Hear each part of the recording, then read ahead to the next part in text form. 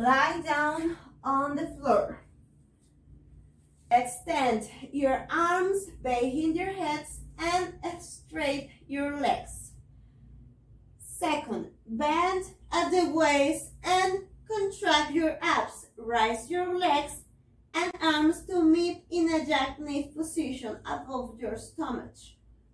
Third, lower your arms and leg back to the starting position.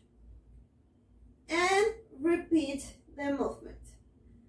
So, what are the most common mistakes?